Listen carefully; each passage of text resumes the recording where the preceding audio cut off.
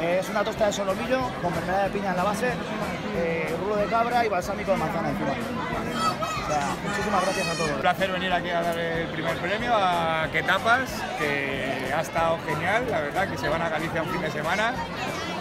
Ha habido 23 comercios, 23 hosteleros que han eh, ofrecido su tapa aquí en esta feria, con gran éxito del público, les ha ido bien a todos y desde luego, bueno, pues había muchas tapas muy bien elaboradas y desde luego la ganadora se lo ha merecido.